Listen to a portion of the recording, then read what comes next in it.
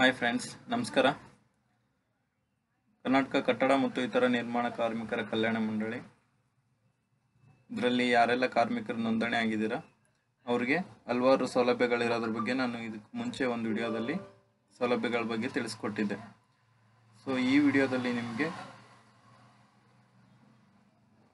Education purpose ಆಗಿ ಅಂದರೆ ಶೈಕ್ಷಣಿಕ ಧನ ಸಹಾಯ ಅಥವಾ ಕಲಿಕಾ ಭಾಗ್ಯ ಸ್ಕೀಮ್ ಬಗ್ಗೆ ಮಾಹಿತಿಯನ್ನು ನೀಡ್ತೀನಿ.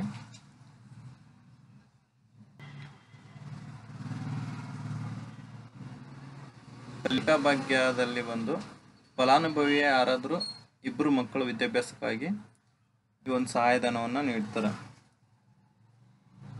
ಅಂದರೆ ನೀವು ಯಾರು ಕಾರ್ಡ್ ಮಾಡಿಸ್ಕೊಂಡಿರ್ತಾರೆ ಅವ್ರ ಇಬ್ಬರು ಮಕ್ಕಳಿಗೆ ಇದು ಅಪ್ಲಿಕೇಬಲ್ ಆಗುತ್ತೆ. ಸೊ ಅವ್ರೇನು ಓದ್ತಾ ಇದ್ದಾರೆ ಅನ್ನೋದನ್ನು ನೋಡ್ಕೊಳ್ಳಿ. ಅದ್ರ ಮುಂದೆ ಇದು ಇಷ್ಟಿಷ್ಟು ಅಮೌಂಟ್ ಅಂತ ಇದೆ. ಒಂದನೇ ತರಗತಿ ಉತ್ತೀರ್ಣರಾಗಿದ್ದರೆ ಅಂದರೆ ಒಂದನೇ ತರಗತಿ ಅಡ್ಮಿಷನ್ ಆದರೆ ಬರಲ್ಲ. ಒಂದನೇ ತರಗತಿ ಪಾಸಾಗಿ ಎರಡನೇ ಕ್ಲಾಸ್ಗೆ ಯಾರು ಅಡ್ಮಿಷನ್ ಮಾಡ್ತೀರೋ ಅವಾಗ ಅಪ್ಲಿಕೇಶನ್ ಹಾಕೋಬೋದು. ಅವರಿಗೆ ಎರಡು ಸಾವಿರ ಸಹಾಯಧನವನ್ನು ನೀಡ್ತಾರೆ. ಅದೇ ರೀತಿಯಾಗಿ ಎರಡನೇ ತರಗತಿ, ಮೂರನೇ ತರಗತಿವರೆಗೂ ಎರಡು ಸಾವಿರ ಇರುತ್ತೆ. ನಾಲ್ಕನೇ ತರಗತಿ, ಐದನೇ ತರಗತಿ ಮತ್ತು ಆರನೇ ತರಗತಿಯವರಿಗೆ ಮೂರು ಸಾವಿರ ಸಹಾಯಧನ ಸಿಗುತ್ತೆ. ಏಳು ಎಂಟು ಒಂಬತ್ತು. ಏಳು ಎಂಟಕ್ಕೆ ನಾಲ್ಕು ಸಾವಿರ ಸಿಗುತ್ತೆ. ಮತ್ತು ಒಂಬತ್ತು ಮತ್ತು ಹತ್ತನೇ ತರಗತಿಯವರಿಗೆ ಆರು ಸಾವಿರ ಸಹಾಯಧನ ಸಿಗುತ್ತೆ. ನಂತರದಲ್ಲಿ ನಿಮಗೆ ಪ್ರಥಮ ಪಿ ಯು ಸಿಗೆ ಯಾರು ಅಡ್ಮಿಷನ್ ಮಾಡ್ತಾರೆ, ಪ್ರಥಮ ಪಿ ಯು ಸಿ ಯಾರು ಪಾಸ್ ಆಗ್ತಾರೆ ಅವರಿಗೆ ಆರು ಸಾವಿರ ಇರುತ್ತೆ. ಮತ್ತು ದ್ವಿತೀಯ ಪಿ ಯು ಸಿ ಪಾಸ್ ಆದವ್ರಿಗೆ ಎಂಟು ಸಾವಿರ ಇರುತ್ತೆ. ಐ ಟಿ ಐ ಮತ್ತು ಡಿಪ್ಲೊಮೊ ಯಾರು ಪಾಸ್ ಆಗ್ತಾರೆ, ಅವರಿಗೆ ಏಳು ಸಾವಿರ ಇರುತ್ತೆ. ಪ್ರತಿ ವರ್ಷಕ್ಕೆ ಏಳು ಸಾವಿರ ಸಿಗುತ್ತೆ. ಅದೇ ರೀತಿಯಾಗಿ ಮತ್ತು ಯಾರು ಗ್ರ್ಯಾಜುಯೇಷನ್ ಮಾಡಿರ್ತಾರೆ, ಯಾರು ಪದವಿ ಮಾಡಿರ್ತೀರ, ಅವರಿಗೆ ಪ್ರತಿ ವರ್ಷಕ್ಕೆ ಹತ್ತು ಸಾವಿರ ಇರುತ್ತೆ. ಪ್ರೊಫೆಷ್ನಲ್ ಕೋರ್ಸಸ್ ಯಾರು ಮಾಡಿರ್ತೀರ ಸೊ ಇಂಜಿನಿಯರಿಂಗ್ ಕೋರ್ಸ್ಗೆ ಯಾರು ಜಾಯ್ನ್ ಆಗ್ತೀರಾ? ಜಾಯ್ನ್ ಆದರೆ ನಿಮಗೆ ಇಪ್ಪತ್ತೈದು ಸಾವಿರ ಸಿಗುತ್ತೆ. ಅದಾದಮೇಲೆ ಪ್ರತಿ ವರ್ಷಕ್ಕೆ ಇಪ್ಪತ್ತು ಸಾವಿರ ಸಹಾಯಧನ ಸಿಗುತ್ತೆ. ಮತ್ತು ಮೆಡಿಕಲ್ ಕೋರ್ಸ್ ಯಾರಾದರೂ ಮಾಡಿದರೆ ಅವರಿಗೆ ಜಾಯ್ನ್ ಆದಾಗ ಮೂವತ್ತು ಸಾವಿರ ಸಿಗುತ್ತೆ. ಮತ್ತು ಪ್ರತಿ ವರ್ಷ ಅವರು ಪಾಸ್ ಆಗ್ತಿದ್ದಂಗೆ ಇಪ್ಪತ್ತೈದು ಸಾವಿರ ಸಿಗುತ್ತೆ. ಅದೇ ರೀತಿಯಾಗಿ ಪಿ ಜಿ ಕೋರ್ಸ್ ಅಥವಾ ಸ್ನಾತಕೋತ್ತರ ಪದವಿ ಯಾರು ಮಾಡಿರ್ತಾರೆ, ಅವರಿಗೆ ಇಪ್ಪತ್ತು ಸಾವಿರ ಇರುತ್ತೆ. ಪ್ರತಿ ವರ್ಷಕ್ಕೆ ಹತ್ತು ಸಾವಿರ ಥರ ಸಿಗುತ್ತೆ. ನಿಮಗೆ ಎರಡು ವರ್ಷಕ್ಕೆ ಈ ಒಂದು ಸಹಾಯಧನ ಸಿಗುತ್ತೆ. ಅದ್ರ ನಂತರ ನೀವು ಪಿ ಎಚ್ ಡಿ ಕೋರ್ಸ್ ಏನಾದರೂ ಮಾಡಿದರೆ so P H D course ಮಾಡಿದಾಗ ಜಾಯ್ನ್ ಆದಾಗ ನಿಮಗೆ ಇಪ್ಪತ್ತು ಸಾವಿರ ಸಿಗುತ್ತೆ. ಅದಾದಮೇಲೆ ನೀವು ಪ್ರಬಂಧ ಸ್ವೀಕಾರದ ನಂತರ, ಅಂದರೆ ಪ್ರಬಂಧ ಸ್ವೀಕಾರದ ನಂತರ ಹೆಚ್ಚುವರಿಯಾಗಿ ನಿಮಗೆ ಇಪ್ಪತ್ತು ಸಾವಿರ ರೂಪಾಯಿಗಳನ್ನು ನೀಡ್ತಾರೆ. ಒಟ್ಟಿನಲ್ಲಿ ಇಷ್ಟು ಬಂದು ಒಂದನೇ ತರಗತಿಯಿಂದ ಅಪ್ ಟು ನೀವು ಪಿ ಎಚ್ ಡಿವರೆಗೂ ಯಾವ್ಯಾವ ಕೋರ್ಸ್ ಮಾಡಿದ್ರೆ ಎಷ್ಟೆಷ್ಟು ಅಮೌಂಟ್ ಅಂತ ಇದೆ. ಸೊ ಯಾರಿಗೆ ಯಾವ್ದು ಅಪ್ಲಿಕೇಬಲ್ ಆಗುತ್ತೆ, ಅದ್ರ ಬಗ್ಗೆ ಅದಕ್ಕೆ ಅಪ್ ಅಪ್ಲಿಕೇಶನ್ ಹಾಕೋಬಹುದು ನಂತರದಲ್ಲಿ ಇದು ಸ್ಕಾಲರ್ಶಿಪ್ ಆಯಿತು ಏರ್ ವೈಸ್ ಮತ್ತು ನಿಮಗೆ ಅದು ಬಿಟ್ಟು ಬೇರೆ ಯಾರು more than seventy five percent ಮಾಡಿರ್ತಾರೆ, ಅಂದರೆ ಶೇಕಡ ಎಪ್ಪತ್ತೈದಕ್ಕಿಂತ ಜಾಸ್ತಿ ಅಂಕ ಯಾರು ಪಡೆದಿರ್ತಾರೆ, ಅವರಿಗೆ ಬೇರೆ ರೀತಿಯಲ್ಲಿ, ಅಂದರೆ ಪ್ರತಿಭಾವಂತ ಮಕ್ಕಳಿಗಾಗಿ ಅಂತ ಪ್ರೋತ್ಸಾಹಧನದ ರೂಪದಲ್ಲಿ ಈ ಒಂದು ಹಣವನ್ನು ನೀಡ್ತಾರೆ. ಎಸ್ ಎಸ್ ಎಲ್ ಸಿನಲ್ಲಿ ಯಾರು ಎಪ್ಪತ್ತೈದು ಪರ್ಸೆಂಟ್ಗಿಂತ ಜಾಸ್ತಿ ಸ್ಕೋರ್ ಮಾಡಿರ್ತಾರೆ, ಅವರಿಗೆ ಐದು ಸಾವಿರ. ಮತ್ತು ಪಿ ಯು ಸಿ ಮತ್ತು ತತ್ಸಮಾನದಲ್ಲಿ ಅಂದರೆ ನೀವು ಐ ಟಿ ಐ ಆಗಿರ್ಬೋದು ಡಿಪ್ಲೊಮಾದಲ್ಲಿ ಯಾರು more than seventy five score ಮಾಡಿರ್ತಾರೆ, ಅವರಿಗೆ ಏಳು ಸಾವಿರ ಸಿಗುತ್ತೆ. ಮತ್ತು ಡಿಗ್ರಿನಲ್ಲಿ ಯಾರು ಮೋರ್ ದೆನ್ ಸೆವೆಂಟಿ ಫೈವ್ ಮಾಡಿರ್ತಾರೆ, ಅವರಿಗೆ ಹತ್ತು ಸಾವಿರ ಪ್ರೋತ್ಸಾಹಧನ ಸಿಗುತ್ತೆ.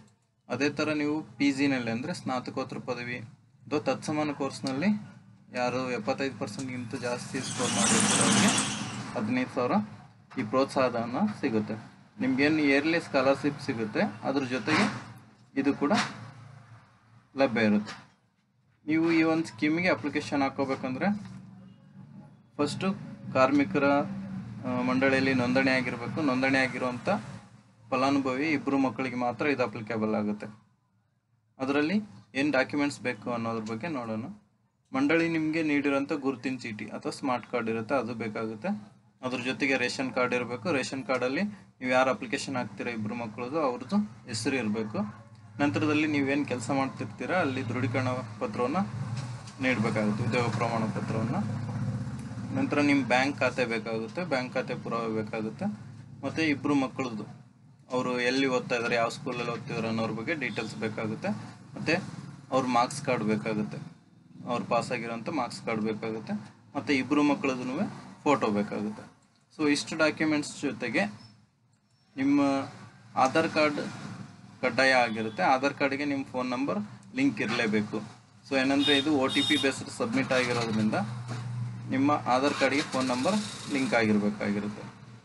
ಮತ್ತು ಇದಕ್ಕೆ ಬಂದು ವಿಶೇಷವಾಗಿ ಈ ಸೂಚನೆಗಳನ್ನು ಗಮನಿಸಲೇಬೇಕು. ಯಾರೆಲ್ಲ ಡಿಸ್ಟೆನ್ಸ್ ಎಜುಕೇಷನಲ್ಲಿ ಎಜುಕೇಷನ್ ಕಂಟಿನ್ಯೂ ಮಾಡ್ತಿರ್ತೀರ ಅಥವಾ ದೂರ ಶಿಕ್ಷಣದಲ್ಲಿ, ಅಥವಾ ಓಪನ್ ಯೂನಿವರ್ಸಿಟಿನಲ್ಲಿ ಯಾರು ಎಕ್ಸಾಮ್ ಬರೀತೀರೋ, ಅವರಿಗೆ ಅಪ್ಲಿಕೇಬಲ್ ಆಗಲ್ಲ.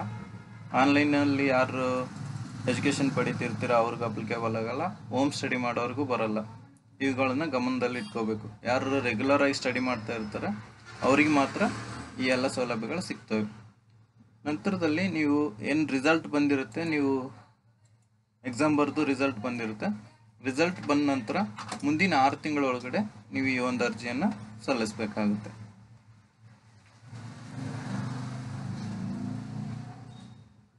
ಇದು ಬಂದು ಸಂಪೂರ್ಣವಾಗಿ ನಿಮಗೆ ಎಜುಕೇಷನ್ ಪರ್ಪಸ್ ಆಗಿ ಅಂದರೆ ಕಲಿಕಾ ಬಗ್ಗೆ ಸ್ಕೀಮ್ನಲ್ಲಿ ಯಾರಿಗೆ ಎಷ್ಟೆಷ್ಟು ದುಡ್ಡು ಬರುತ್ತೆ ಅನ್ನೋದ್ರ ಬಗ್ಗೆ ನಾವು ತಿಳಿಸ್ಕೊಟ್ವಿ ಮತ್ತು ಅದಕ್ಕೆ ಏನು ಡಾಕ್ಯುಮೆಂಟ್ಸ್ ಬೇಕು ಅನ್ನೋದನ್ನು ಕೂಡ ತಿಳಿಸ್ಕೊಟ್ಟಿದ್ವಿ.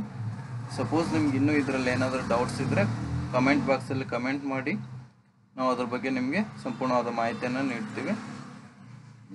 ಇದಕ್ಕೂ ಮುಂಚೆ ನೀವು ಏನಾದರೂ ಕಾರ್ಡ್ ಮಾಡಿಸ್ಕೊಂಡಿಲ್ಲ ಅಂದರೆ ಸೌಲಭ್ಯಗಳ ಬಗ್ಗೆ ಗೊತ್ತಿಲ್ಲ ಅಂದರೆ ಇದಕ್ಕೂ ಮುಂಚೆ ಇರುವಂಥ ವಿಡಿಯೋಗಳನ್ನ ನೋಡಿ ಅದರಲ್ಲಿ ಕಾರ್ಡನ್ನು ಮಾಡಿಸ್ಕೊಳ್ಳಿ, ಮತ್ತು ನಿಮ್ಮ ಫ್ರೆಂಡ್ಸು ಗೊತ್ತಿರೋರು ಯಾರು ಕಾರ್ಡ್ ಮಾಡಿಸ್ಕೊಂಡಿಲ್ಲ ಅಂದರೆ ಅವ್ರಿಗೆ ಕಾರ್ಡ್ ಮಾಡಿಸ್ಕೊಳ್ಳೋದಕ್ಕೆ ಹೆಲ್ಪ್ ಮಾಡಿ, ಎಲ್ಲರಿಗೂ ತಿಳಿಸಿ, ಮತ್ತು ಎಲ್ಲರೂ ಈ ಸೌಲಭ್ಯಗಳನ್ನು ಪಡ್ಕೊಳ್ಳೋದಕ್ಕೆ ಸಹಾಯ ಮಾಡಿ.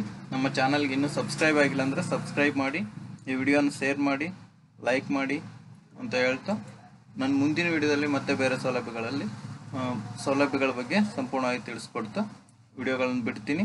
ಸೊ ನೀವು ಸಬ್ಸ್ಕ್ರೈಬ್ ಬಟನ್ ಮುಂದೆ ಕಾಣುವಂಥ ಬೆಲ್ ಬಟನ್ನ ಕ್ಲಿಕ್ ಮಾಡಿ ಅಪ್ಡೇಟ್ ಆಗಿರಿ. ನಾವು ವಿಡಿಯೋನ ಅಪ್ಲೋಡ್ ಮಾಡಿದ ತಕ್ಷಣ ನಿಮಗೆ ಇನ್ಫಾರ್ಮೇಷನ್ ಸಿಗುತ್ತೆ. Thank you